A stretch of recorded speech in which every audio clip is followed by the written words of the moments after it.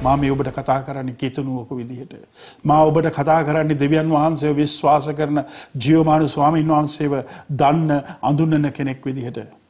අපි ජේසු ඉදිරියේ දනින් වැටලා කියමු.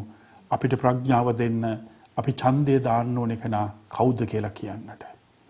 අපේ තියෙන අදහස් අපි පැත්තකින් තියලා. මේ දින කීපය අපි දෙවියන් වහන්සේට යාඥා කරමු.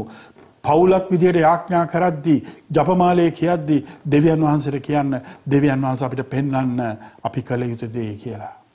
එතකොට දෙවියන් වහන්සේ ඔබට මඟ පෙන්වයි. මම ඔබෙන් ආදරෙන් එක දෙයක් ඉල්ලනවා. මේ ඡන්දේ නම් කටු ගන්න එපා. මේ ඡන්දේ නම් දාපු නැති ඡන්දයක් විදිහට සලකුණු වෙන්න තියන්න එපා. මේ ඡන්දය නරක් වෙච්ච ඡන්දයක් වෙන්නට එපා. ඔබේ උපදින්න දින දරුවන් වෙනුවෙන් දෙවියන් වහන්සේට ආඥා කරලා 21 වෙනිදාට ඡන්දේ දාන්න.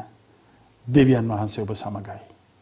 කවුරු බලයට ආවත් අපි දෙවියන් වහන්සේ එක්කනම් අපි ජේසුස් වහන්සේ එක්කනම් අපි දිනු. ඒ නිසා ඔබට ජේසු පිටයි.